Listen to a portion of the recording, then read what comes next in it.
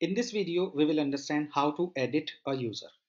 To access this screen, log into SuperAdmin, navigate to Admin, User and Permission. Now click on the user that you would like to edit. Here, you can change the mobile number, email ID, and you can change a role. If required, you can make him or move him to any other role.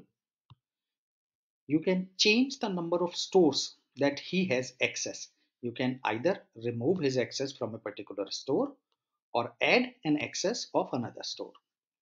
You can also delete a user, disable a user, and you can send a password reset link if the user is not active.